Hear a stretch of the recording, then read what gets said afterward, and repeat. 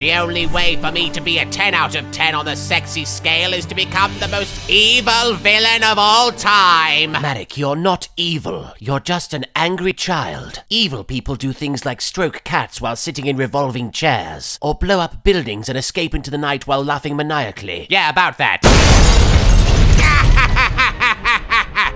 Marek, no! Come back! Odeon. Hey Shizu, sorry for almost killing you back there. Master Merrick promised me gummy bears. I command you to eat my dust, Shizu. Odeon, take us to the nearest Walmart. I require a revolving chair and a kitten. Yes, Master Marek. Master Merrick, can we ride with you? No, get your own frigging motorcycles. Meet you guys at Walmart. How am I related to him?